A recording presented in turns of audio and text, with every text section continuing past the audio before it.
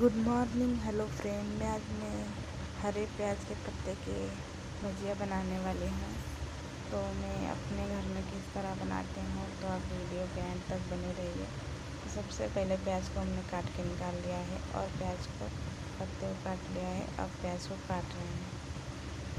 तो वीडियो को एक लाइक कर देना और चैनल को सब्सक्राइब कर देना। रोज़ इसी तरह के रिलेटेड वीडियो लाते हैं। सबसे पहले हम लहसुन को कूट लेते हैं। और कूट के इसके अंदर डाल देते हैं। ऐसा कूट के बनाने से बहुत ही अच्छा मसाला पीसने जैसा स्वाद आता है। मिर्ची को बारीक बारीक काट लेंगे। इसमें डाल देते हैं। थोड़ा सा हल्दी पाउडर डाल दी हूँ और स्वादानुसार मसाला और स्वादानुसार नमक। नमक कम ही डालेंगे क्योंकि पत्ता बाद में गल के कम हो जाएगा। और बेसन डाल के इसे अच्छे से मिक्स करके अच्छे से मसल लेते हैं।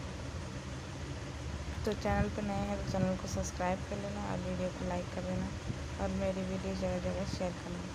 देखिए मेरा हो गया है। अब तेल गरम करने के लिए रख दी हूँ। अब छोटे छोटे भजिया करके डालेंगे।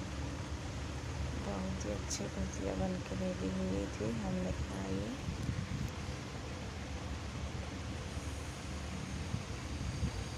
थोड़ी देर के बाद से इसे चलाएँगे, तुरंत चलाएँगे तो टूटने का डर रहता है। अभी गीला रहता है ना।